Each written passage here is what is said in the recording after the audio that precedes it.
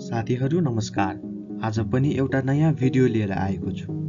धेरै साथीभाइको आग्रह अनुरूप आजको यो भिडियोमा हामी कसरी दोस्रो बजारमा बेन्जामिन ग्रामको सूत्र प्रयोग गरेर भ्यालु इन्भेस्टमेन्टको लागि अन्डर भ्यालुड र बलियो सेयर पत्ता लगाउने भन्ने विषयमा कुरा गर्नेछौँ।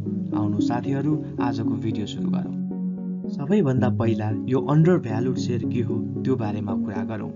साथीहरू कुनै पनि कम्पनीको सेयर उसको फेयर भ्यालुभन्दा थोरैमा किन्न पाइन्छ भने त्यस्तो सेयरलाई अन्डर भ्यालुड सेयर भनिन्छ। भने कुनै कम्पनीको सेयर उसको फेयर भ्यालुभन्दा धेरैमा कारोबार भएको हुन्छ भने त्यस्तो सेयर्सलाई ओभर भ्यालुड सेयर भनिन्छ। लङ टर्म इन्भेस्टमेन्टको लागि हामीले अन्डर भ्यालुड सेयर किन्दा राम्रो हुन्छ।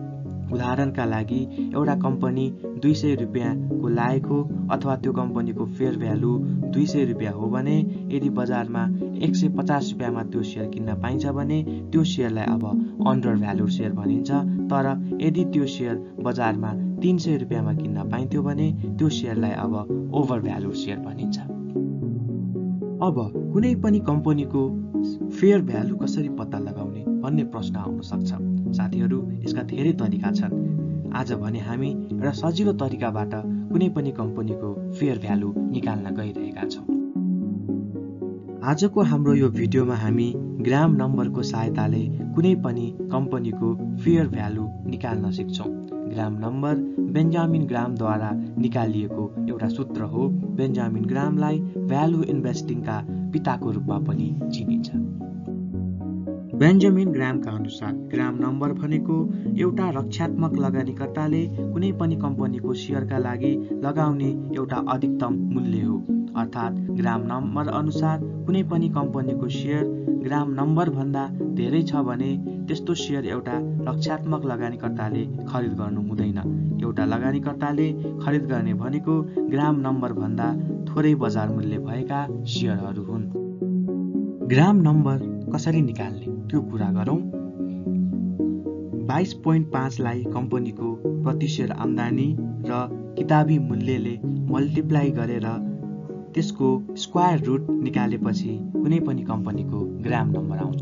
बेन्जामिन ग्रामले ग्राम नम्बरको आविष्कार गर्दा दुईवटा कुरालाई आधार दिएका थिए। पहिलो कुरा कुनै पनि कम्पनीको मूल्य आम्दानी अनुपात पन्ध्र गुणाभन्दा धेरै हुनु हुँदैन र दोस्रो कुरा भनेको कुनै पनि कम्पनीको मूल्य र किताबी मूल्यको अनुपात अर्थात् पिबी रेसियो एक दशमलव पाँच गुणाभन्दा बढी हुनु हुँदैन। साथीहरू अब हामी कुनै एउटा कम्पनीको ग्राम नम्बर निकालेर हेरौँ। साथीहरू मानौ एउटा कम्पनी एबिसी भन्ने कम्पनी छ। उक्त कम्पनीको वार्षिक प्रतिशत आम्दानी बिस रुपियाँ छ र उक्त कम्पनीको किताबी मूल्य अथवा प्रतिशत नेटवर्थ नेटवर्थ पर सेयर दुई सय रुपियाँ छ। ग्राम नम्बरको सूत्र प्रयोग गर्दा कम्पनी एबिसीको ग्राम नम्बर तिन सय आउँछ। साथीहरू हामीले कम्पनी एबिसीको ग्राम नम्बर अथवा फेयर भ्यालु तिन सय रुपियाँ निकाल्यौँ। साथीहरू यदि यो कम्पनीको सेकेन्ड्री मार्केटमा तिन सय रुपियाँभन्दा थोरैमा सेयर कारोबार भइरहेको छ भने यो लगानी गर्न उत्तम मूल्य हो। तर बेन्जामिन ग्रामको सूत्र अनुसारले यदि सेकेन्ड्री मार्केटमा यो कम्पनीको सेयर मूल्य तिन सयभन्दा माथि कारोबार भइरहेको छ भने त्यो भनेको लगानी गर्न योग्य मूल्य होइन।